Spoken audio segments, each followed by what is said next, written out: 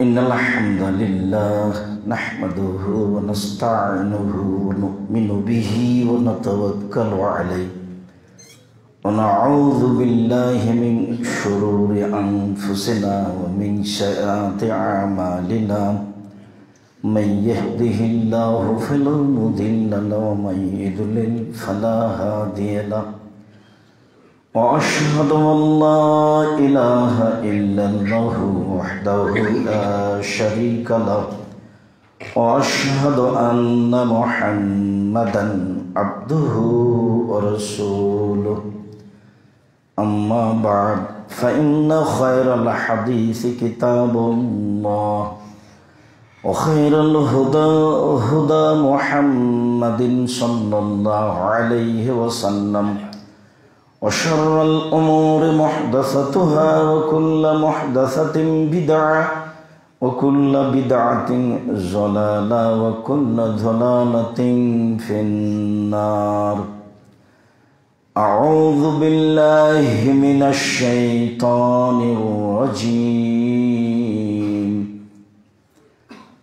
يا أيها الذين آمنوا لا تدخلوا لا تدخلون غير بيوتكم حتى تستأنسوا وتسلموا على أهلها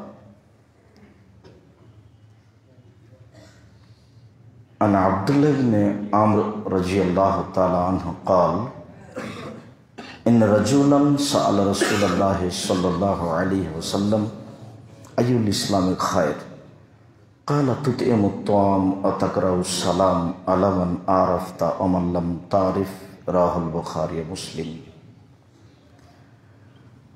সম্মানিত উপস্থিতি মসজিদের মুসল্লি মুসলিম ভাই বোন প্রশংসা আল্লাহর জন্য শান্তি অবতীর্ণ হোক আল্লাহ রাসুলের উপর সাল্লাহ আলী ওসাল্লাম আজ জুমার খুদ্বাই সংক্ষিপ্ত সময় বক্তব্যের বিষয় সালাম। সালাম সম্পর্কে গুরুত্বপূর্ণ সংক্ষিপ্ত তত্ত্ব তথ্যবহল বিবরণের চেষ্টা করব ইনশাল্লাহ আজিজ। সালামের আলোচনায় প্রারম্ভের আলোচনা হবে সালামের ফজিলত।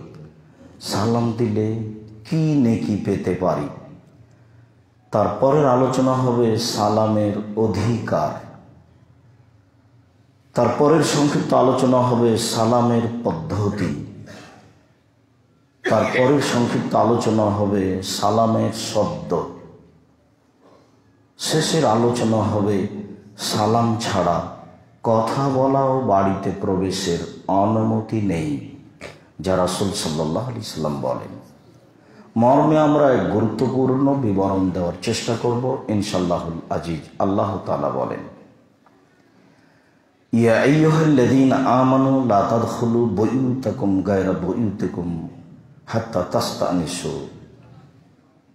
হে মুসলিম ইমানদারগণ তোমরা অন্যের বাড়িতে প্রবেশ করো না, সালাম ছাড়া।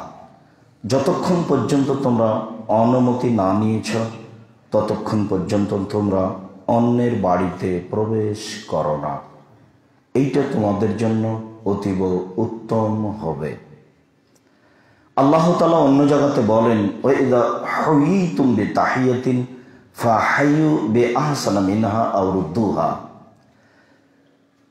যখন তোমাদেরকে সালাম দেওয়া হবে, তোমাদেরকে কেউ সালাম দিবে, তখন তোমরা তার চেয়ে উত্তম উত্তর দাও। অন্যথায় যা বলেছে সেটাই হুবাহু বলো। সালামের ব্যাপারে আল্লাহ তালা কোরআন মাজিদে এভাবে বলেন। সালামের ফজিলতে রসুল সাল্লাহ আলি সাল্লাম বলেন, আব্দুল ইবনা আমর রাজি আল্লাহ বিবরণ একজন ব্যক্তি রাসুল সাল্লাহ আলি সাল্লামকে জিজ্ঞাসা করল আইউল ইসলামে খায় আল্লাহর নবী, ইসলামে সবচেয়ে ভালো কাজ কি? মুসলমান জীবনে যেসব কাজ করে, তার মধ্যে সবচেয়ে উত্তম কাজ কি? যেটা তার জীবনে সবচেয়ে ভালো বলে গণ্য হবে। তখন রসুল সাল্লাহ সাল্লাম বললেন, তুতি মুত্তম, অতাকরাউ সালাম, আলামান আরাফতা নাম তারিফ। তুমি দুস্থ গরিব, ফকির, মিসকিনকে খেতে দিবা। এইটা হলো তোমার জীবনে সবচেয়ে উত্তম কাজ। দুই, তুমি মানুষকে সালাম দিবা, যাকে চিনো তাকেও দিবা, যাকে চিনো না তাকেও দিবা। হাদিস বোখারি, মুসলিম। অত্র বিবরণে বোঝা গেল, মানুষের জীবনে সবচেয়ে উত্তম ভালো কাজ হলো, যা দ্বিতীয় পর্যায়ে আছে, তা হলো সালাম প্রদান করা। আর মানুষের জীবনে সবচেয়ে উত্তম ভালো কাজ হলো দুস্থ গরিব ফকির মিসকিনকে খেতে দেওয়া, যার বিনিময় জান্নাত। আবু হুরায়রা রাজিয়াল্লাহ তাআলা আনহু বলেন, রাসূল সাল্লাল্লাহু আলাইহি ওয়াসাল্লাম বললেন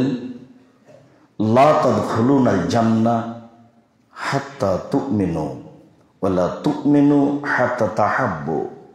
তোমরা জান্নাতে যেতে পারবা না। যতক্ষণ পর্যন্ত তোমরা ইমানদার না হচ্ছ, আর তোমরা ইমানদার হতে পারবা না, যতক্ষণ পর্যন্ত তোমাদের পরস্পরের ভালোবাসা না হচ্ছে। আওয়ালা আদুল্লুকুম আলা সাইয়িন এই যা ফাউতুমহম তাহাবাবতুম। আমি কি তোমাদের একটা পদ্ধতি বলে দেব? যখন তোমরা সেই পদ্ধতি বাস্তবায়ন করবে তখন তোমাদের মাঝে ভালোবাসা, ভাতৃত্ব ভাব এমনিতে হয়ে যাবে। আমি কি সেটা বলে দিব না? সেটা হচ্ছে আফসুস, সালাম। তোমরা পরস্পরে সালাম বিনিময় করো, সালাম ছড়াও, একে অপরকে সালাম দাও, তাহলে তোমাদের মাঝে ভালোবাসা গড়বে। আর এটাই হবে ইমানের মাধ্যম, যা হবে জান্নাতের কারণ। ইমান ছাড়া মানুষ জান্নাতে যাবে না, এ কথাই ঠিক। ইমান ছাড়া যদি মানুষ জান্নাতে যেত, তাহলে মোহাম্মদ সাল্লা সাল্লামের চাচা আবু তালেব জান্নাতে যেত। মোহাম্মদ সাল্লাহ সাল্লামের মা জান্নাতে যেত। মোহাম্মদ সাল্লাহ আলি সাল্লাম তার মায়ের ব্যাপারে ক্ষমার অনুমতি চাইলেন। আল্লাহ বললেন, না, আপনার মায়ের ব্যাপারে আমার কাছে আপনি ক্ষমা চাইতে পারেন না। তখন আল্লাহর নবী বললেন, আল্লাহ, তাহলে আমি আমার মায়ের কবর দেখতে যেতে পারি? হ্যাঁ আপনি আপনার মায়ের কবর দেখতে যেতে পারেন। তবে আপনি আমাকে বলতে পারেন না যে আমার মাকে ক্ষমা করেন। কেন? আপনার মা ইমানদার নয়। ইমান বলতে স্বীকৃতি দিতে হবে আল্লাহ ছাড়া কোনো মাবুদ নেই। ইমান বলতে স্বীকৃতি দিতে হবে মোহাম্মদ আল্লাহ রাসুল এবং তার বান্দা। মাটির তৈরি একজন মানুষ বলে স্বীকৃতি দিতে হবে এবং তিনি নবী এ বলে মেনে নিতে হবে। এর বিকল্প কোনো পথ পন্থা নেই ইমানদার হওয়ার জন্য। আব্দুল ইবনে সালাম রাজিয়াল্লাহ তালা আনহু বলেন, সামাইত রসুল আল্লাহ সাল্লাহ সাল্লাম ইয়াকুল, আমি রসুল সাল্লাহ আলি সাল্লামকে বলতে শুনেছি, তিনি বলছিলেন ইয়াইহান নাস, হে পৃথিবীর মানুষ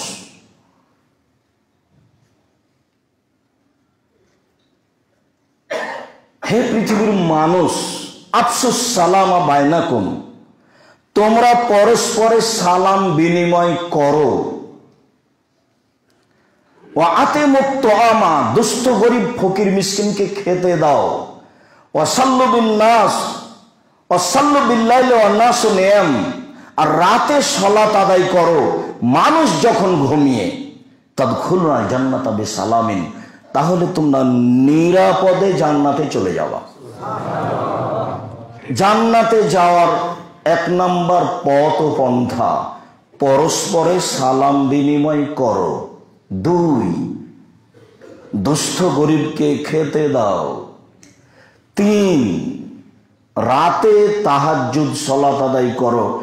যখন মানুষ ঘুমিয়ে, তাহলে বিচারের মাঠে কোনো ভয় ভীতি থাকবে না। নিরাপদে জান্নাতে চলে যাবা। ওমামা বাহেলি রাজিয়াল্লাহ তালাহ বলেন, আমি একদা আল্লাহর নবীকে বললাম, আহ বিরিনি বেশাইন ইজবলিয়াল জান্না। আল্লাহর নবী আমাকে একটা কিছু বলেন তো, যেটা করলে আমার জন্য জান্নাত জরুরি হয়ে যাবে। আমি যাবই জান্নাতে। এরকম একটা পথের কথা বলেন তো। যেটা করলে আমি জান্নাতে চলে যাব। তখন রসুল সাল্লাহ আলি সাল্লাম বললেন, দেখো এটা আমুত্তম অবাজলুস সালাম মানুষকে দুস্থ গরিবকে খেতে দাও। এক। দুই। পরস্পরে সালাম বিনিময় করো। তিন। রাতে মানুষ যখন ঘুমিয়ে তখন তুমি সলাত আদায় করো, তাহলে তুমি জান্নাতে যাবাই যাবা। ও বলছে যে আমার জন্য জান্নাত জরুরি হয়ে যাবে, আমি যাবই। এরকম একটা ও পন্থার কথা বলেন। তখন রসুল সাল্লাহ আলি সাল্লাম এইভাবে বললেন যে দুস্থ গরিব ফকির মিসকিনকে খেতে দাও, পরস্পরে সালাম বিনিময় করো।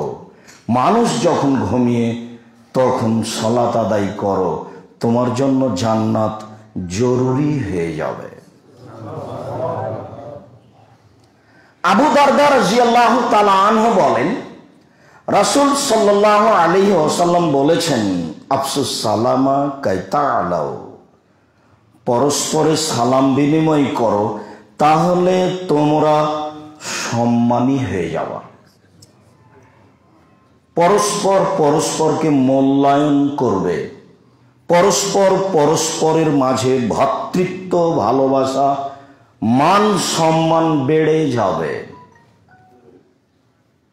বারা ইবনে আজিব রাজিয়াল্লাহ তাআলা আনহু বলেন, রাসূল সাল্লাল্লাহু আলাইহি ওয়াসাল্লাম বললেন, আফসুস সালামা কাইতা আলাও তোমরা পরস্পরে সালাম বিনিময় করো।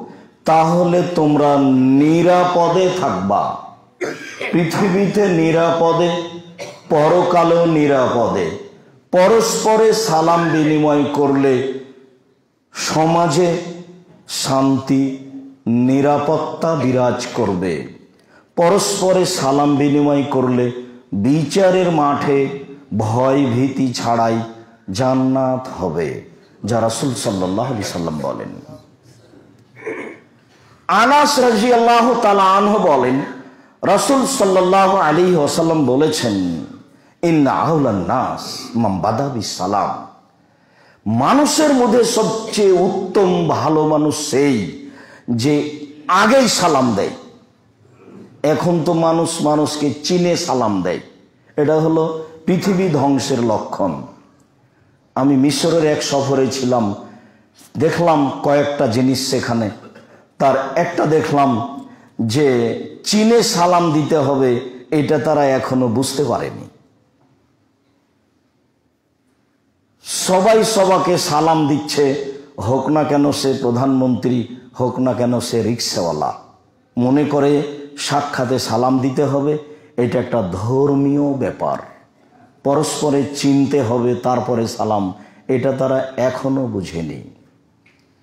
যদিও আরেকটা গুরুত্বপূর্ণ কাজ দেখলাম, সুন্দর, সবাই কোরআন মাজিদ পড়তে পারে।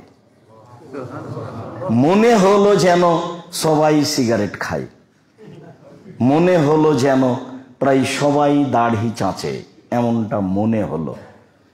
চলা চলে। সম্মানিত মসজিদের মুসল্লি, আমরা বলছিলাম, সবচেয়ে উত্তম মানুষ সেই যে আগে সালাম দেয়। আর সালাম দিলে এই অপেক্ষায় থাকলে আপনার ভিতরে অহংকার বিরাজ করছে, এটা বুঝে নিতে হবে। রাসুল সাল্লাহ আলি সাল্লাম বলেছেন লায়াত খোলেল জান্নাত ফিকালবিহি মিসকাল আহাবাতে মিন খারদালি মিন কিবর। কারও যদি অহংকারে, তা কারও যদি অন্তরে সরিষা সম পরিমাণ অহংকার থাকে, তাহলে সে জান্নাতে যাবে না। হজ করলেও, তাহাজ্জুদ পড়লেও, দান খায়রাত করলেও। অহংকার খুব খারাপ জিনিস। অহংকার হচ্ছে মানুষকে তুচ্ছ মনে করা, যেটা সমাজে সবচেয়ে ন্যাক্কারজনক, নোংরা, জঘন্য কাজ। মানুষ কেন মানুষকে তুচ্ছ মনে করবে? মানুষ মানে মানুষ, এটা আরবি শব্দ। মানুষ মানে মানুষ, তার জন্য তো মানুষ বলো, ও কি মানুষ নাকি? ও হলো অমানুষ। আরবি শব্দ এটা।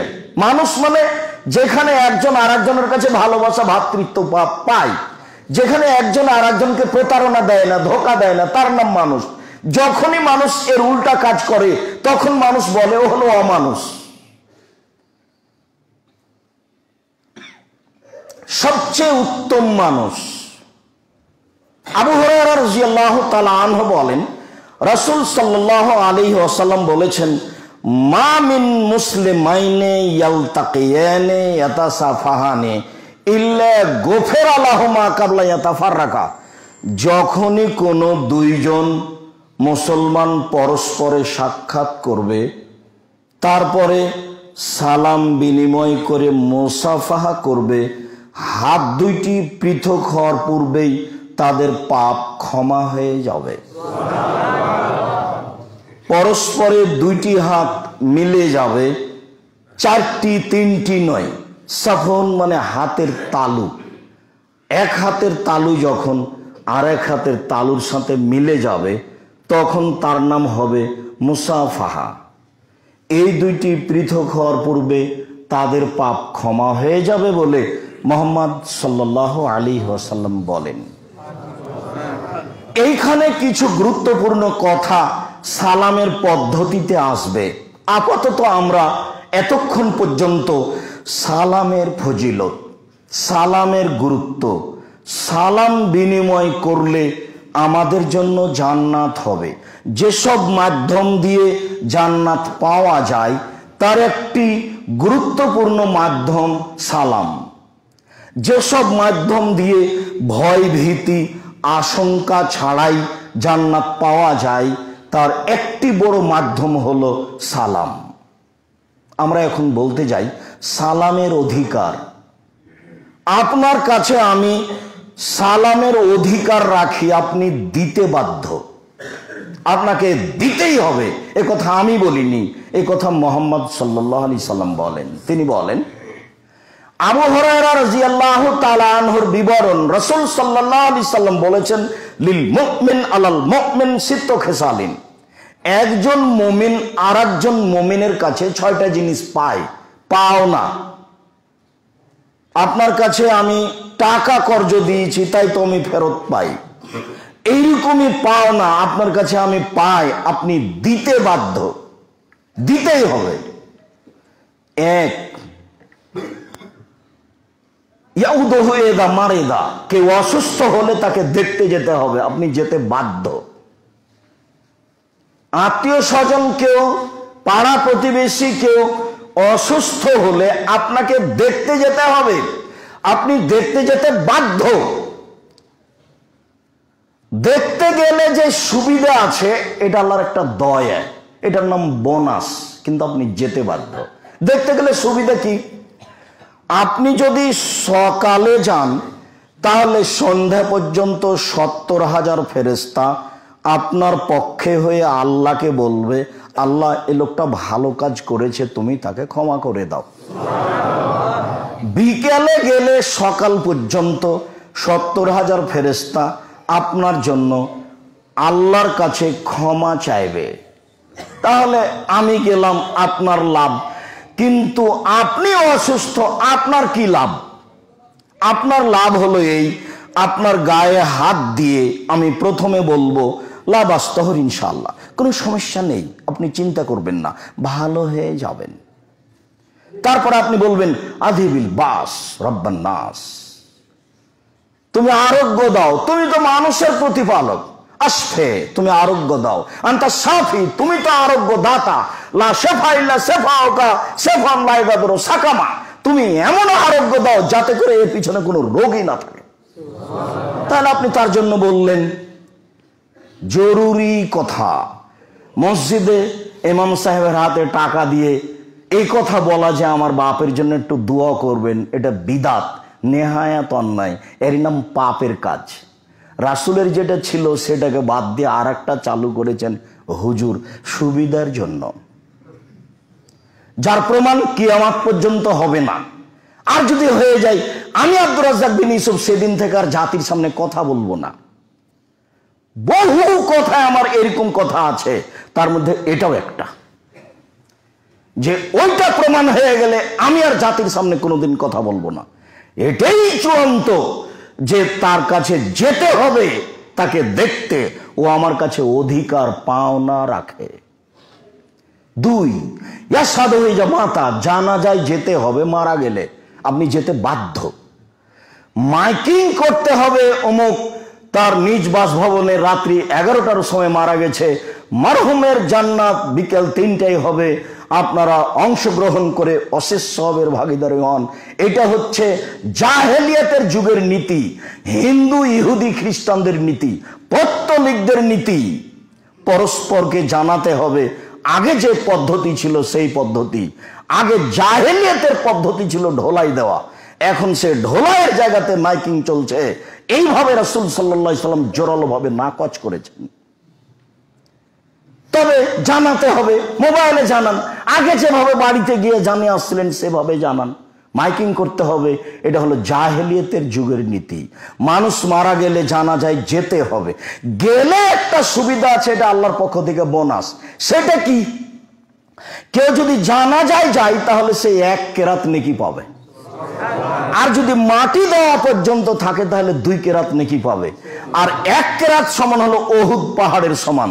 ওহুদ পাহাড় হলো চার কিলোমিটার প্রশস্ত আর আট কিলোমিটার লম্বা। নিচে কত আছে তা মানুষ জানে না। তাহলে আপনার বিশাল পাওয়া, এটা আল্লাহর পক্ষ থেকে একটা দয়া। আল্লাহ বলছেন, যখন তুমি তোমার জিম্মেদারি পালন করেছ, আমি আল্লাহ একটু দয়া করলাম, তোমাকে দিয়ে দিলাম, তুমি একটু লুটে নাও। সম্মানিত মসজিদের মুসল্লি, বলছিলাম অধিকার। ওই সাল্লাম আলাইহেদা লাকিয়াহু, সাক্ষাৎ হলে সালাম দিতে হবে আপনি বাধ্য। আপনার কাছে আমি এটা পাই। যখনই আমার সাথে আপনার সাক্ষাৎ হবে, তখনই আপনি আমাকে সালাম দিবেন। জরুরি, এটা বাধ্য। দিতেই হবে। রাজশাহী, চাঁপাই নবঙ্গজের ভাষায় আপনাকে দিতে হবে হবে আপনার বাপকে দিতে হবে মানে দিতেই হবে। এটা হক অধিকার। কারও এখানে পরামর্শেরও দরকার নেই, কারও এখানে ভালো মন্দরও ভাবার প্রয়োজন নেই। মোহাম্মদ সাল্লাহ সাল্লাম বলেছেন, অতএব আমি আর আপনি বাধ্য। তিনি বলেছেন দাহু কে যদি খাওয়ার দাওয়াত দেয়, তাহলে খেতে যেতে হবে, আপনি যেতে বাধ্য। কেউ যদি খাওয়ার দাওয়াত দেয় আর আপনি যদি না যান, তাহলে আপনি আল্লাহ রসুলের নাফারমানি করলেন, হাদিস বোখারি, মুসলিম। আপনি খেতে গেছেন, গিয়ে দেখছেন সব ছেলে মেয়ের ভিডিও হচ্ছে। এখন ফিরে আসতে হবে, ফিরে আসতে বাধ্য। খেতে গিয়ে দেখছেন ছবি মূর্তি পরিপূর্ণ ঘর বাড়িতে তাহলে ফিরে আসতে হবে, আপনি আসতে বাধ্য। রাসুল সাল্লাহ আলি সাল্লামের বাড়ি থেকে জিব্রাইল ফিরে গেছেন, মনে আছে তো? যখন পরের দিন সকালে জিব্রাইল চলে এসেছেন, তখন আল্লাহ নবী বলছেন, কি ব্যাপার? আপনি যে আমার সাথে অদা করেছিলেন রাতে আসার? তো আসলেন না যে? তখন জিব্রাইল বলছেন, এসেছিলাম তো। তো আপনার ঘরের নিচে, আপনার খাটের নিচে কুকুরের বাচ্চা ছিল। এসে আমি ঘুরে গেছি। ওসব ঘরে আমরা ঢুকি না, যেসব ঘরে ছবি মূর্তি কুকুরের বাচ্চা থাকে। তো সেই জন্য আমরা ঘুরে গেছি। রাসুল সাল্লাম ফাতেমার বাড়িতে গেলেন খেতে। গিয়ে দেখলেন ছবি, ফিরে আসলেন। উমার জনৈক ওই খ্রিস্টানের বাড়িতে আগ্রহ সহকারে দাওয়াত দিয়েছিল গেলেন না। না আপনাদের বাড়িতে আমি দাওয়াত খেতে যাব না। এই জন্য যারা আপনাদের বাড়িতে মূর্তি থাকে। হাদিস বখারি, মুসলিম। আপনি দাওয়াত খেতে যেতে বাধ্য, কিন্তু ওখানে যদি দেখা যায় শরীয়ত বিরোধী কর্ম, আপনি ফিরে আসতেও বাধ্য। রসুল সাল্লাহ আলি সাল্লাম বলেন ওই সম্মিত হয়ে যা আতে সাহু এ যা আতাশা, যখন কেউ হাঁচি ছাড়বে তখন আপনি উত্তর দিতে বাধ্য। তবে এখানে একটু কথা আছে। যার হাঁচি এসেছে তাকে আগে বলতে হবে আলহামদুলিল্লাহ। তখন আপনি বলতে বাধ্য এর হামাক আল্লাহ ও যখন বলল আল্লাহর প্রশংসা, তখন আপনি বললেন, আল্লাহ আপনার প্রতি দয়া করুক। তখন তাকে আবার বলতে হবে, ইয়াহদিকুমুল্লাহ ইসলাম আলাকুম। আল্লাহ আপনাকে সৎ পথে রাখুক। আল্লাহ আপনার অবস্থাকে ভালো করে দেখ। এটা হলো হাঁচির জব। দেখেছেন ধর্ম কেমন? কে ইসলাম ধর্ম বলে আর বুঝে। আর পড়ে। যারা আমরা দিন প্রচার করছি, তারা তো একজন আর বিরুদ্ধে কথা বলার জন্য প্রস্তুত। আর মিথ্যে কাহিনী দিয়ে ভরা। যার কারণে আমি দীর্ঘ তিরিশ বছর থেকে বলে আসছি, আমার চিন্তা ভাবনায়, আমার তদন্তে এদেশের শতকরা পঁচানব্বই জন বক্তা মিথ্যুক, আমি বলিনি, ইনি মিথ্যুক। আমার জীবনে আমি কোনোদিন কাউকে লক্ষ্য করে, কাউকে হিসাব করে কথা বলিনি। আমার জীবনে কোনোদিন আমি কোনো মাঝাব নিয়ে কথা বলিনি। দীর্ঘ তিরিশ বছরে। তবে আমি বলেছি, শতকরা পঁচানব্বই জন বক্তা মিথ্যুক বলে আমার তদন্ত। শতকরা আটানব্বই জন মুফাসের মিথ্যুক বলে আমার তদন্ত। ধর্মের কথা এটা নয়। সম্মানিত মসজিদের মুসল্লি, বলছিলাম অধিকার। রাসুল সাল্লাহ আলী আসাল্লাম বললেন ওয়ানসাহবা যখন আপনার প্রতিবেশী থাকবে না, তখন আপনি প্রতিবেশীর কল্যাণ কামনা করবেন, এটা ওর অধিকার। এই সুযোগ আপনি তার সাথে, তার স্ত্রীর সাথে অশ্লীল কাজে লিপ্ত হবেন। এ কথা নয়, তার পুরো পরিবারটা আপনার অধীনে আছে। ওই লোক চলে গেছে আপনার অধীনে রেখে। এটা ও হক রাখে যাতে করে কোনো সমস্যা না হয়। অধিকার, পদ্ধতি। আবু হরাহ আনহ বলেন, রাসুল সাল্লাহ আলী ওসাল্লাম বলেছেন ইসাল্লেম সাগির আলাল কবিরে। ইসাল্লেম রাকে আলাল মাসি আল মাসি আলাল কায়েদ অল কালিল আলাল কফির অসাগির আলাল কবির। বাহনে চলে যারা, ওরা সালাম দিবে, পায়ে হেঁটে চলে যারা তাদেরকে। পায়ে হেঁটে চলে যারা, তারা সালাম দিবে, বসে আছে যারা তাদেরকে। সংখ্যায় কম যারা, তারা সালাম দিবে, সংখ্যায় বেশি যারা তাদেরকে। ছোটরা সালাম দিবে বড়দেরকে। হাদিস বুখারি, মুসলিম। আনাস রাজি আল্লাহ আনো বলেন, মার্রা নবী সাল্লাহ আলি সাল্লাম আলা গিলমানিন।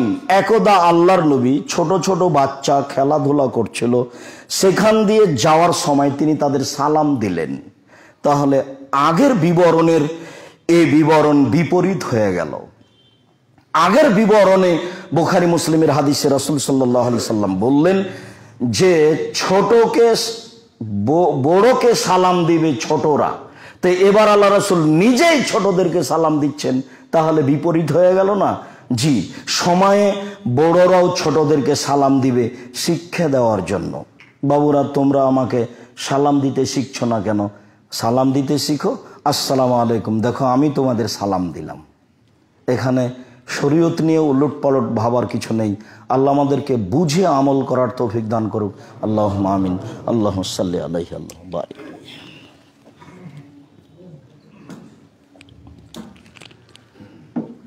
আলহামদুলিল্লাহ আল্লাহ আনাস তালা বলেন নবী বে ফিহে আল মুসলিমোনা, অল মুশরিকোনা, অল এহুদ ও আবাদতুল আহসান ফাসাল্লামা আলাইহিম, আল্লাহর নবী একদা এক মজলিসের পাশ দিয়ে যাচ্ছিলেন। সেখানে ছিল মুসলিম, সেখানে ছিল অমুসলিম, সেখানে ছিল ইহুদি, সেখানে ছিল মূর্তি পূজক। এরা সবাই ছিল। আল্লাহ রসুল বললেন, আসসালামু আলাইকুম। বুঝা যাচ্ছে, অমুসলিম মুসলিম, হিন্দু, মুসলমান, বৌদ্ধ, খ্রিস্টান একসাথে থাকলে আপনি আসসালাম আলাইকুম বলবেন, এটাই ঠিক। তবে আমরা ছোটতে রাজশাহী, চাঁপাই, নবাবগঞ্জে অবগত হয়েছিলাম যে হিন্দু, মুসলিম এক জায়গাতে থাকলে বলতে হবে, আসসালাম আলাইকুম আলামানিত্তাবা আল হোদা। আমি সালাম দিলাম ওই লোককে যে এখানে হৃদায়তের উপরে আছে। এ কথা ঠিক নয়। যখন রাসুল আলি সাল্লাম ইরাকের প্রেসিডেন্ট হেরাকলিয়াসকে পত্র লিখেছিলেন, তখন তিনি বলেছিলেন, আসসালাম আলাইকুম আলামানিত্তাবা আল হোদা। আমার সালাম ওর উপরে, যে হেদায়েতের উপরে রয়েছে। হ্যাঁ অমুসলিম ব্যক্তির কাছে যদি আপনি পত্র লিখেন, তখন আপনি বলবেন, আসসালাম আলাইকুম আলামানিত্তাবাল হোদা। এইটা ঠিক। কিন্তু মুসলিম, অমুসলিম এক জায়গাতে আছে, তখন আপনি বলবেন, আসসালাম আলাইকুম আলামানিত্তাবাল হোদা। তাহলে রাসুল সাল্লাহ সাল্লামের সোননাথের বিপরীত কাজ হবে। ওরা সবাই আছে। আপনি বলেন, আসসালাম আলাইকুম। এটাই ঠিক।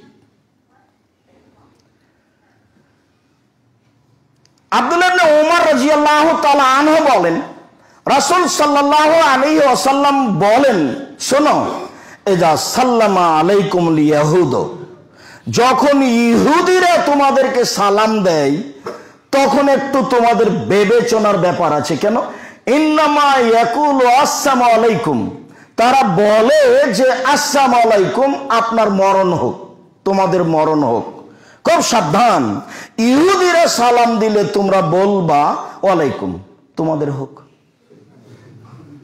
ওয়ালাইকুম সালাম পর্যন্ত যাওয়া হবে না, শুধু ওয়ালাইকুম।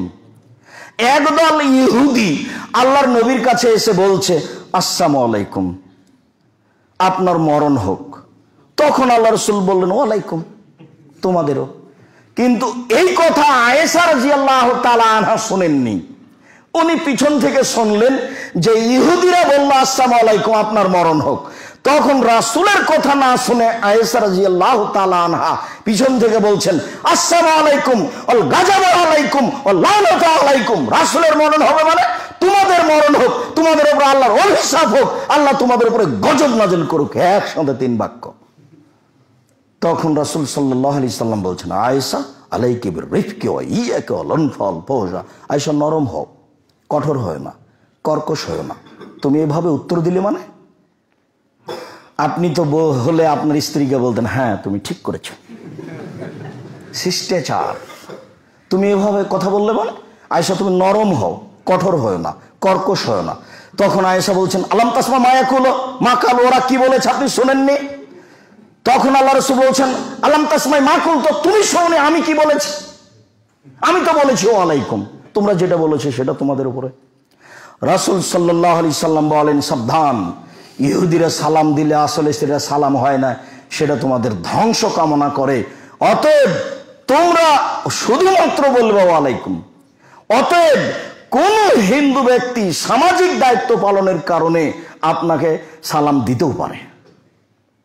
আর এখন তো সবাই সবার মাঝে জড়িয়ে আছে নির্বাচনী কারণে, তা আপনারা খুব ভালোভাবে অবগত। পরস্পরকে সালাম বিনিময় করছে, আসলেই কীভাবে সালাম হবে তা কেউ ভেবেও দেখে না। তারা যদি সালাম দেয়, তাহলে আপনার উত্তর হবে ওয়ালাইকা। ওয়ালাইকুম। আপনি ওয়ালাইকুম সালাম বলতে পাবেন না। আর সালাম মানে হচ্ছে নিরাপত্তা। আর আপনি কোনো মানুষের জন্য নিরাপত্তা চাইতে পারেন না যতক্ষণ পর্যন্ত ওই এই স্বীকৃতি না দিয়েছে। আমি সাক্ষ্য দিচ্ছি, আল্লাহ ছাড়া কোনো মাহবুব নেই। আমি সাক্ষ্য দিচ্ছি মোহাম্মদ আল্লাহ রাসুল।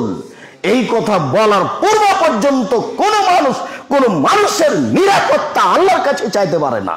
ও মানুষ হিসাবে নিরাপত্তা পাবে, এটা আল্লাহর জিম্মেদারি। মানুষ তো নিরাপত্তা পাচ্ছেই। সারা পৃথিবীর মানুষ কত অর্থ সম্পদ উপার্জন করে আমেরিকা, রাশিয়া, চীন, জাপানে ইহুদি, খ্রিস্টানেরা সারা পৃথিবী ভোগ করছে। তো এটা তো আল্লাহর নিয়ামত, অনুগ্রহ ভোগ করছে। কিন্তু আপনি যে মুসলিম, আপনার পক্ষ থেকে পদ্ধতি এইভাবে হবে, ওইভাবে নয়।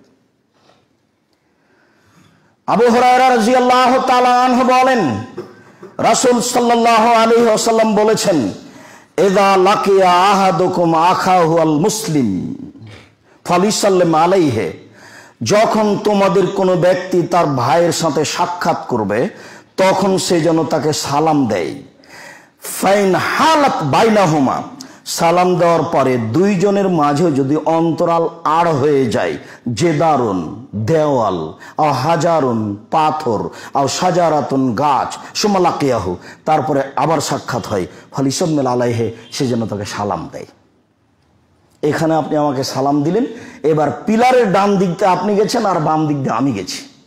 আপনি আমাকে এখানে সালাম দিলেন, তারপর আপনি ডান দরজাতে বের হয়েছেন আর আমি বাম দরজাতে বের হয়েছি। স্যান্ডেল নিতে গিয়ে আবার সাক্ষাৎ, আবার সালাম দিতে হবে, আপনি বাধ্য এটা আদেশবাচক শব্দ। আপনি তো ইতস্ত বোধ করছেন, সরম বোধ করছেন, আমি কেমনে কথা বলি?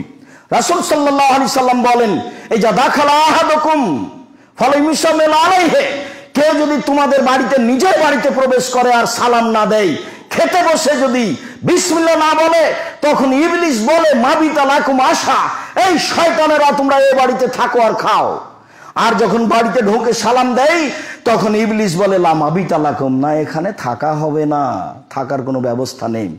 আর যখন খেতে বসে বিসমিল্লা বলে, তখন ইবলিশ সব শয়তানকে বলে ওলা আশা লাকুম, তোমাদের এখানে খাওয়ারও নেই, থাকারও নেই, খাওয়ারও নেই। হাদিস বোখারি, মুসলিম।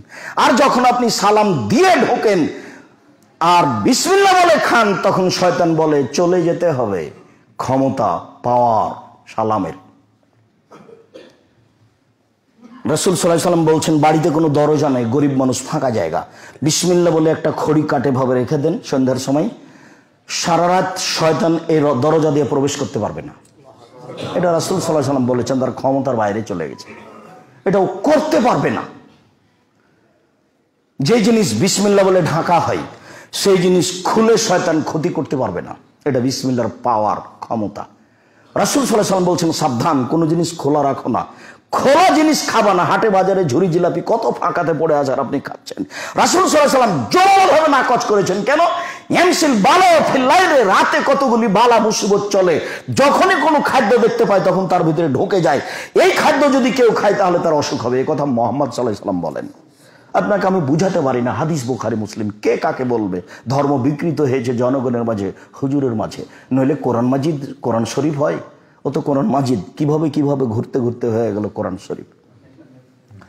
সম্মানিত মসজিদের মুসল্লি, বলছিলাম সালামের পদ্ধতি। রাজিয়াল্লাহ বলেন, একজন সাহাবি বলেন, আল্লাহর নবী আর রাজুল মিন্না যখন আমাদের কেউ তার কোনো বন্ধুর সাথে সাক্ষাৎ করে, তো এনহানিলাহু তার জন্য নত হবে কি? কালালা। না না না না না না। আফাই আলতা যে কি? কালা নাম হ্যাঁ। এবার খুব সাবধান। সালামের যত পদ্ধতি আছে, সব বাতিল, সব হারাম। আসসালামু আলাইকুম। যেটা সরকারি পদ্ধতি, জানি না এটা স্যালট, সালাম নাকি। যদি প্রশাসনিকভাবে এটা পদ্ধতি হয়, তাহলে সমস্যা নেই। কিন্তু প্রশাসনিকভাবে এটা যদি সালাম হয়, তাহলে তা বাতিল। আসসালামু আলাইকুম, তা বাতিল। আসসালামু আলাইকুম, তা বাতিল। পায়ে চুম্পা দেওয়া, বাতিল। পায়ে হাত দিয়ে সালাম দেওয়া, বাতিল। গালে চুমা দিয়ে সালাম দেওয়া, সব বাতিল। ত্রিশ ত্রিশ, চল্লিশ প্রকার যত সালাম আছে, সব নাজায়েজ। যেহেতু রাসূল সাল্লাম জোরালোভাবে নাকচ করলেন, সাহাবি বলেন, আল্লাহর নবী কারোর সাথে সাক্ষাৎ হলে নত হবে কি? না না না না। আল্লাহ রসুল কারোর সাথে সাক্ষাৎ হলে তাকে জড়িয়ে ধরবে কি? না না। তাকে চুমা দিবে কি? না। তাহলে তার হাত ধরে মুসাফা করবে কি? হ্যাঁ। প্রথমে বলছিলাম মুসাফাহা। তবে হাত ধরে মুসাফা দুই হাত নয়। যদি চ আমাদের সমাজে দুই হাত আছে, চার হাত একসাথে হওয়ার পরে, খোলার পরে আগে মুখে, তারপরে বুকে। এগুলো সব না যায় শরীয়ত অনুমোদন করে না। এখানেই থাকল যে কিয়ামত পর্যন্ত কোনোদিন হাত ছেড়ে বুকে হাত দেওয়া, চুমা দেওয়া প্রমাণ হয়ে গেলে আমি আব্দুল রাজাক বিন ইসুফ জিন্দগি তার কোনোদিন জাতির সামনে কথা বলব না। কথা আমি মেপে বলছি, দাড়ি পাল্লায় মাপলেও কেয়ামাত পর্যন্ত উনিশ, বিশ হবে না, তবে মানুষ কোনো জায়গাতে অনুবাদে ভুল থাকতেও পারে। যদি সত্যি ভুল থাকে তদন্তে যদি দেখা যায় ভুল হয়েছে, আমি ছেড়ে দিতে বাধ্য থাকব। তবে একাধিকবার তদন্ত করা আছে। মর্মে এত শক্ত করে বলার জন্য চেষ্টা চালাচ্ছি। সম্মানিত দিনী মুসল্লি ভাই বোন। বলছিলাম, আনাস রাজি আল্লাহ তালানো বলেন, কানা আসাবুন নবী সাল্লাহ আলি সাল্লাম, নবীগণের নীতি, সাহাবিগণের নীতি ছিল এজাইয়াতালাকু তাসাফাহু। যখন সাহাবিগণ পরস্পরে সাক্ষাৎ করত, তখন মুসাফাহা করত। যা কাদমিন সাফারিন তা আনাকু তবে বাহির থেকে আসলে কাঁধে কাঁধ মিলাতো। আমার সাথে কাঁধে কাঁধ মিলাতে পারেন আজ। কিন্তু আপোষে কাঁধে কাঁধ মিলাবেন, এটা বিদাত, এটা হারাম, চলবে না এটা। কাজে ঈদের মাঠে কাঁধে কাঁধ মিলানো যাবে না। ঈদের মাঠে তো আমরা সবাই এলাকার ঈদের মাঠে এসেছি। সাহাবিগণ পরস্পর সাক্ষাৎ হলে মুসাফাহা করতেন, তবে কেউ সফর থেকে আসলে কাঁধে কাঁধ মিলাতেন, বুঝা, বুঝাতে পারি না মনে হয়। এদেশে একটা বই পাওয়া যায়, বইয়ের নাম উপদেশ। আপনার জন্য লিখেছিলাম, কিন্তু আপনার কেনারও সময় হয় না, পড়ারও সময় হয় না। আমি কি করতে পারি? আপনার কি উপকার করতে পারি? আপনার কাছে বাড়িতে বই আছে, কি করলে কি হয়, কি করলে ছাই হয়, কিছুই হয় না। আপনার বাড়িতে আছে মুকসেদুল মোমেনিন, তার একটা হেডলাইন আছে, অবিবাহিত ছেলে মেয়ের পড়া নিষেধ। তারপরে হেডলাইনের পরে যা লেখা আছে, আল্লাহর কসম অল্লাহে আল্লাহর কসম অল্লাহে আল্লাহর কসম। আমি আব্দুর রাজাক বিন ইসুফ জাতির সামনে শতদিন বলেছি, আজকেও বলছি, শুরু থেকে শেষ পর্যন্ত একটি কথাও আল্লাহ রসুলের নয়। তিনি বলেছেন, চন্দ্র সূর্য গ্রহণের সময় স্ত্রী মিলন হলে বাচ্চা টেরা হবে, সফরের পূর্বে স্ত্রী মিলন হলে বাচ্চারা কানা হবে। ভরা পেটে স্ত্রী মিলন হলে বাচ্চা টেরা, কানা হবে, ল্যাংড়া হবে, এ কথা বলেন। আর আল্লাহ তারা বলছেন নিসা হুকুম হারসুল্লাকুম ফাতু হারস হুকুম আন্না শেতুম তোমাদের স্ত্রী, তোমাদের জমি, তোমাদের ক্ষেত, তোমরা তোমাদের স্ত্রীর কাছে আসো। তোমাদের ইচ্ছে মতো সকালেই কি, দুপুরেই কি, ভরা পেটেই কি, আর রাতেই কি, আর সফরের পূর্বেই কি, আর চন্দ্রগ্রহণ লাগলেই কি, আর না লাগলেই কি? এ কথা আল্লাহ তালা বলেন, সেইখানে এই কথা কি করে হতে পারে? আপনার স্ত্রী, আপনার জমি। নিজের জমি চাষ করি, আমি সকালে না বিকালে, তাদের লোকের কি? আমি চাষ এদিক থেকে শুরু করি, না এদিক থেকে শুরু করি, তাদের লোকের কি? কথা আল্লাহ বলছেন, তোমার স্ত্রী, তোমার জমি, তুমি তোমার জমিতে আসবে, তোমার ইচ্ছা মতো। তোমার কখন ইচ্ছা, সেটা তোমার ব্যাপার। এখানে কোনো প্রকার বাধা নেই। তবে ঋতু অবস্থায় থাকা ভিন্ন কথা, ওটা আল্লাহর বিধান। সম্মানিত মসজিদের মুসল্লি, সালামের শব্দ আমরা শেষের দিকে চলে আসছি। সালামের শব্দ। লাম্মা খালাকাল্লাহ আদামা, যখন আল্লাহ আদমকে সৃষ্টি করলেন, সৃষ্টি করার পরে বলছেন ইধাবেলা হাদান নাফার। ওই যে একটি দল, আপনি ওখানে যান, ফাসাল্লেম আলাইহিম, আপনি তাদের ওখানে সালাম দেন। ফাইনাহা তাহিয়াতুকা ও তাহিয়াত জুরিয়াতেকা।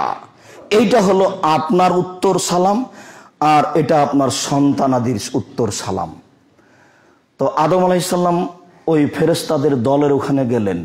এক বর্ণনায় এসেছে, আদম আলাইসাল্লাম বললেন আসসালামু আলাইকুম। তখন ফেরেস্তারা বললেন ও আলাইকুম সালাম। আরেক বর্ণনা এসেছে ফেরেস্তারা বললেন, আসসালাম আলাইকুম ও রহমতুল্লাহ। আদম আলাইসাল্লাম বললেন, আসসালামু আলাইকুম। এই পর্যন্ত। তখন ফেরেস্তাগণ বললেন, আসসালামু আলাইকুম ও রহমতুল্লাহ। একটা শব্দ বাড়িয়ে দিলেন। এগুলো সালামের শব্দ। আবু আনহু বলেন, কুন্না কুলনা।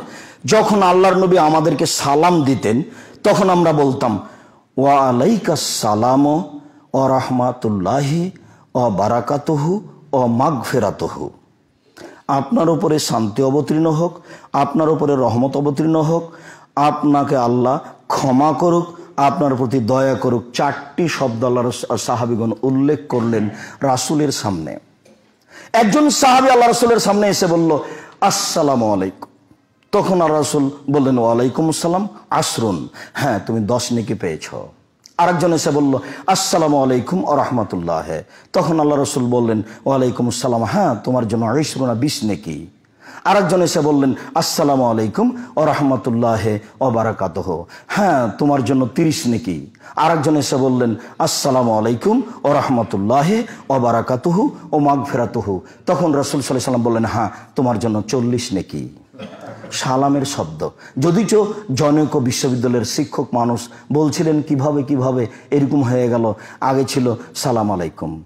আর এখন হয়ে গেল, আসসালাম আলাইকুম।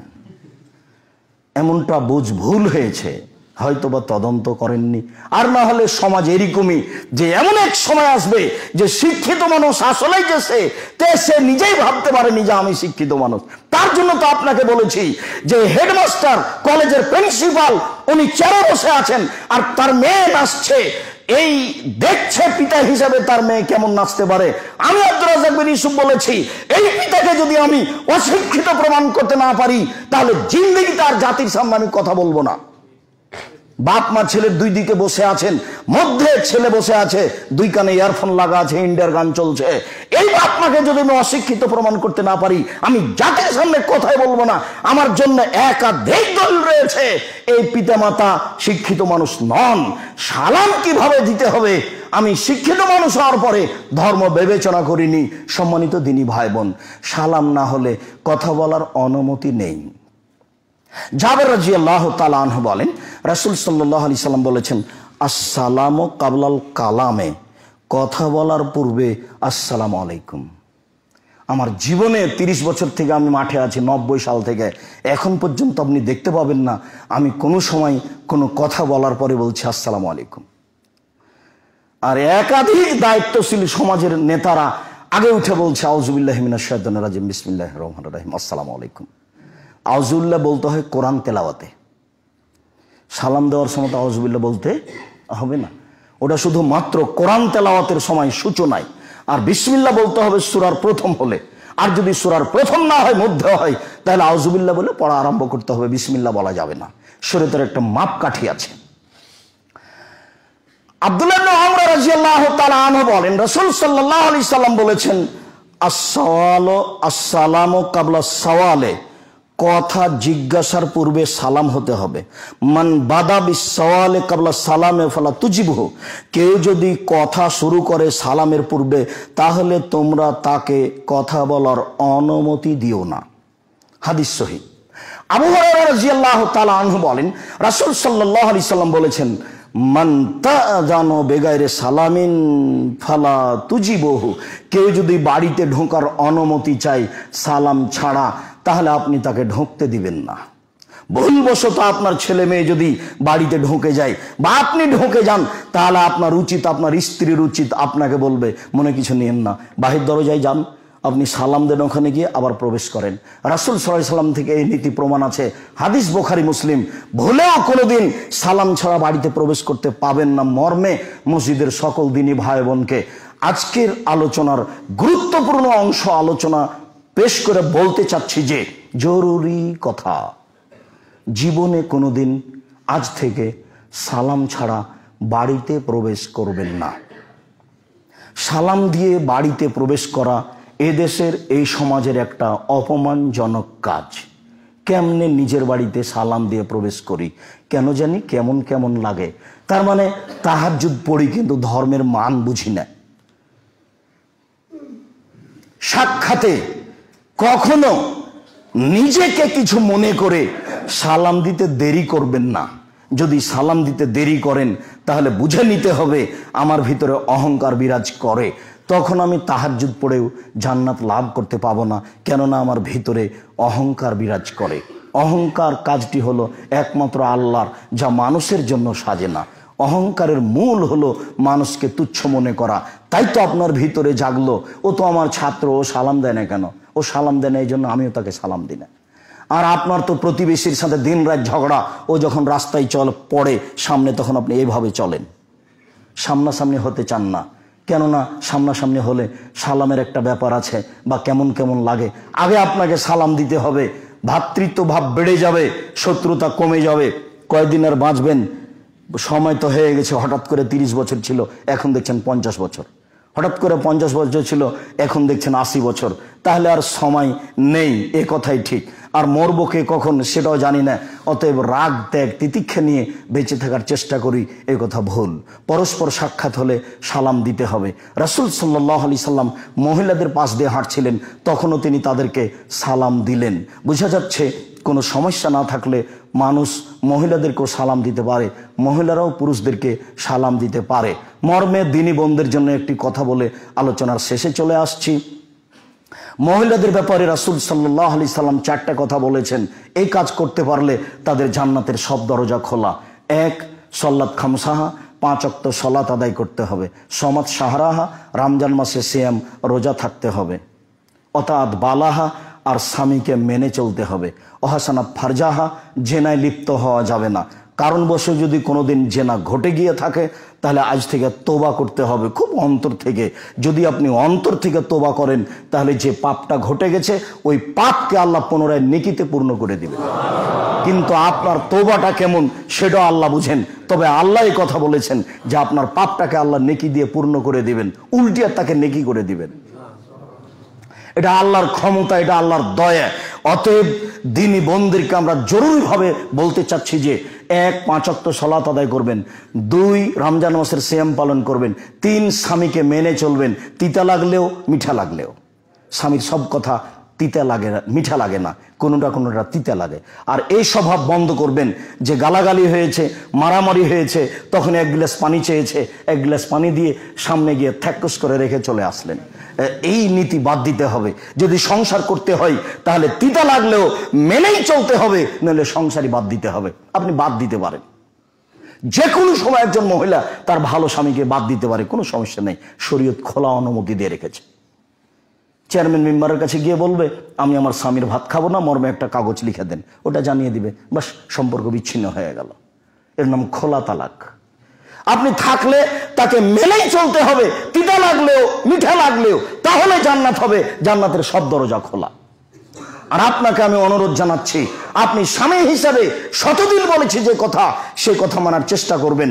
এক যেমানের খাচ্ছেন সেমানের খাওয়াবেন।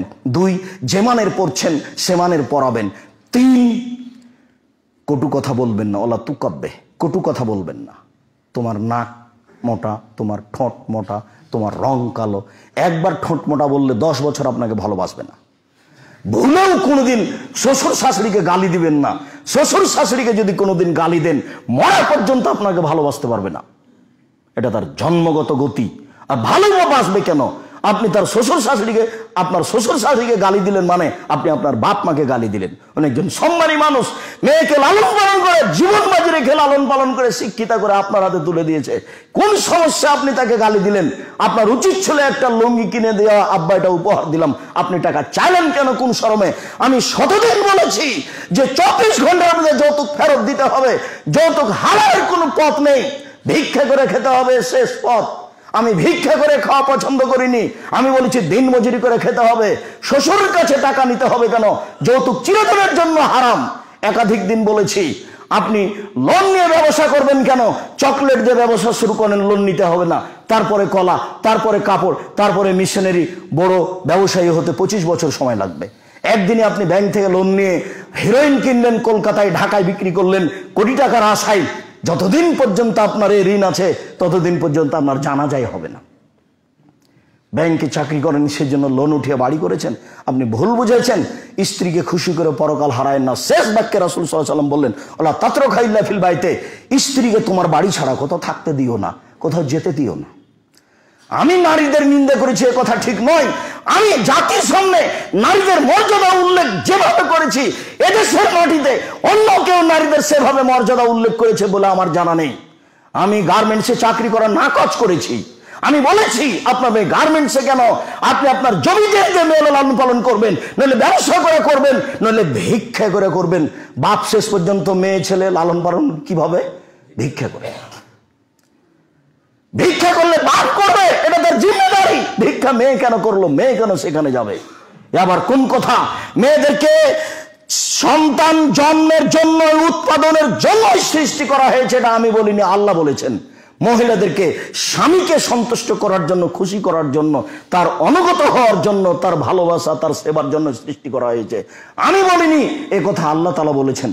এতে আমি তার মানের হানি করেছি, এ কথা নয়। সম্মানিত মসজিদের মুসাল্লি, আমরা শেষের আলোচনায় কিছু গুরুত্বপূর্ণ কথা বলি। তার এক নম্বর কথা হচ্ছে, আজ থেকে যে কোনো মূল্যে সালাম চালু করতে হবে জরুরিভাবে। দুই সামাজিকভাবে যে অবস্থা চলছে সমাজে এই অবস্থা থেকে আপনাকে বেঁচে থাকার চেষ্টা করতে হবে। দোকানপটে বসে গল্প করা থেকে বিরত থাকতে হবে। পাঁচ অক্ত সলাতের জন্য প্রস্তুত থাকতে হবে। হালাল রুজি খাওয়ার জন্য প্রস্তুত থাকতে হবে। কোরআন মাজিদ তেলাওয়াতে অভ্যাসী হতে হবে। ধরে নেন উপদেশ হিসেবে এই কথাগুলি রাখলাম। তারপরে জরুরি, স্ত্রীর প্রতি কঠোর হতে হবে, নইলে স্ত্রী আপনাকে ভুল বুঝবে। ছেলে মেয়ের প্রতি কঠোর হতে হবে, নইলে আহাল পরিবার আপনাকে ভুল বুঝবে, ফলে আপনার জাহান্নাম হয়ে যাবে। পরের কথা, আমি আব্দুর রাজ্জাক বিন ইউসুফ, খাকসার সাধারণ মানুষ।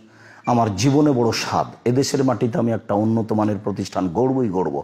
সেটা জামিয়া সালাফে ডাঙ্গিপাড়া পবারাজ চাই সেটা জামিয়া সালাফে রূপগঞ্জ, নারায়ণগঞ্জ, ঢাকা। সেটা জামিয়া সালাফিয়া দিনাজপুর, তেঘরা বলে ভাবছি।